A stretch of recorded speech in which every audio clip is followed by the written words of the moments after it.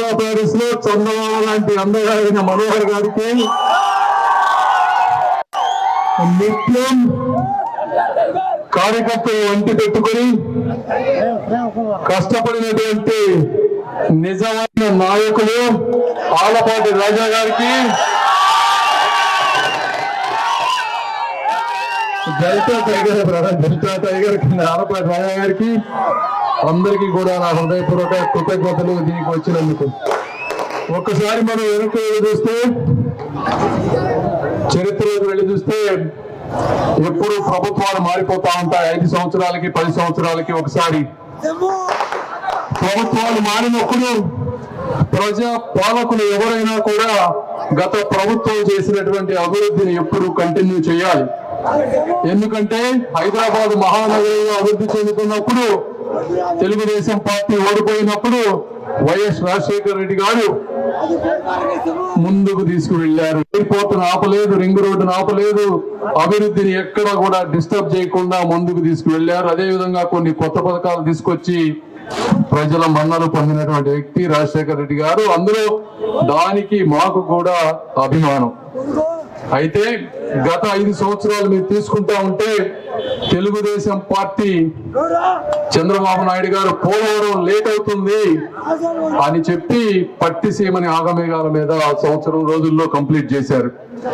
పోలవరం ప్రాజెక్ట్ని seventy two percent నాలుగు సంవత్సరాల్లో కంప్లీట్ చేశారు. ముంపు గ్రామాలు తెలంగాణలో ఉన్నటువంటి ముంపు గ్రామాలను కలిపి ఒక సమర్థవంతంగా ప్రతి వారం సమీక్ష చేసి సెవెంటీ టూ పర్సెంట్ కంప్లీట్ చేశారు ఐదు సంవత్సరాల్లో.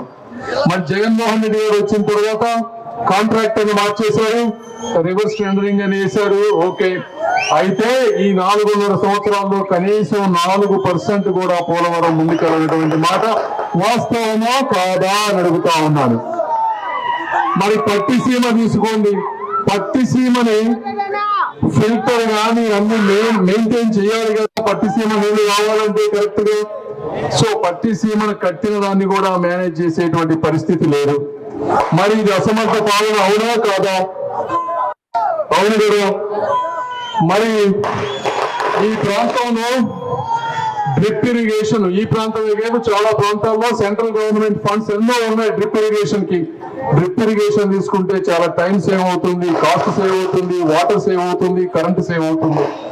మరి ఆ డ్రిప్ ఇరిగేషన్ కావాల్సినటువంటి రాష్ట్రానికి సంబంధించిన నిధులు మ్యాచ్ చేయకపోవడంతో దాన్ని పూర్తిగా మనం వాడుకోలేనటువంటి పరిస్థితి. అదేవిధంగా కృష్ణా డెల్టా వాటర్ ఉంటే వాటర్ని కూడా ఈరోజు తెలంగాణ రాష్ట్రం ఎక్కడో చాట చోట పేచీ పెట్టి మనకి రావాల్సిన వాటా తగ్గించాలి అనుకుంటే దాని గురించి ప్రశ్నించడం సంగతి దేవుడు ఎరువు కనీసం చర్చించడం కూడా ఎక్కడా లేదు ఈ రోజు మనం ఉన్నటువంటి ప్రభుత్వంలో. ఇవన్నీ మీరు అర్థం చేసుకోవాలి. పోనీ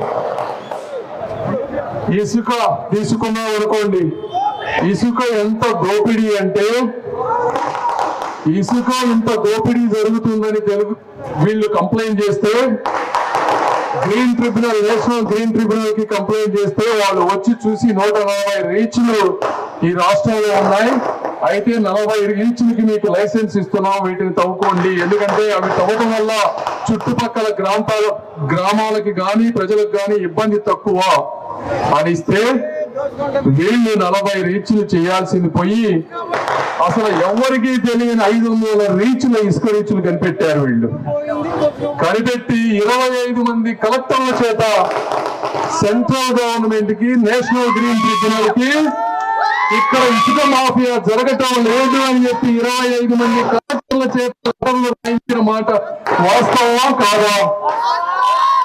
ఇసుక దోపిడీ జరుగుతుంది కదా.